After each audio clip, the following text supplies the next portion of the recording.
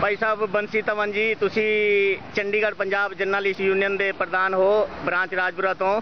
ਕੀ ਤੁਸੀਂ ਇਹ ਜਿਹੜਾ ਹੈਗਾ ਦੇਖ ਰਹੇ ਹੋ, ਇਸ ਦੇ ਬਾਰੇ ਜਾਣਕਾਰੀ ਦਿਓਗੇ? ਹਾਂ ਹਾਂ, ਕਿਉਂ ਨਹੀਂ? ਬੜੀ ਹੀ ਮਨਭਾਗੀ ਜੀ ਗੱਲ ਹੈ ਕਿ ਇੱਕ ਮਿਊਨਿਸਪਲ ਕਮੇਟੀ ਦਾ ਦਫ਼ਤਰ ਹੋਵੇ, ਪ੍ਰਸ਼ਾਸਨ ਦਾ ਦਫ਼ਤਰ ਹੋਵੇ, ਤੇ ਉਹਦੀ ਬੈਕ ਸਾਈਡ ਤੇ ਇਹ ਹਾਲ ਹੋਵੇ, ਅਸੀਂ ਤਾਂ ਇਹੀ ਕਹਿ ਸਕਦੇ ਹਾਂ ਕਿ ਦੀਵੇ ਤਲੇ ਹੰਦੇਰਾ ਕਿਉਂਕਿ ਆ ਵੇਖੋ ਕਿੰਨਾ ਬੁਰਾ ਹਾਲ ਹੈ। ਕਹਿੰਦੇ ਨੇ ਡੇਂਗੂ। ਡੇਂਗੂ ਤਾਂ ਡੇਂਗੂ ਨੂੰ ਤਾਂ ਖੁਦ ਇਨਵਾਈਟ ਕਰ ਰਹੇ ਨੇ। ਇਹ ਬੁਲਾ ਰਹੇ ਨੇ ਡੇਂਗੂ ਨੂੰ। ਅਗਰ ਇਹ ਹੀ ਹਾਲ ਰਿਹਾ, ਤੇ ਇਹ ਤਾਂ ਡੇਂਗੂ ਖੁਦ ਆਣਾ ਹੀ ਆਣਾ ਹੈ। ਹਰ ਤੇ ਹਰ ਸੂਰਤ 'ਚ ਆਏਗਾ। ਪਰ ਪ੍ਰਸ਼ਾਸਨ ਕਿਉਂ ਸੁੱਤਾ ਪਿਆ ਹੈ? ਇਹਦੇ ਬਾਰੇ ਬਹੁਤ ਜ਼ਰੂਰੀ ਹੈ ਸਾਰੇ ਪ੍ਰਸ਼ਾਸਨ ਨੂੰ ਇਹ ਗੱਲ ਕਹਿਣੀ ਕਿ ਜਾਗੋ ਨਹੀਂ ਤਾਂ ਡੇਂਗੂ ਆਇਆ ਹੀ ਆਇਆ। ਕੀ ਚਾਰ ਪੰਜ ਮੌਤਾਂ ਹੋਣਗੀਆਂ, ਫਿਰ ਜਾਗੋਗੇ?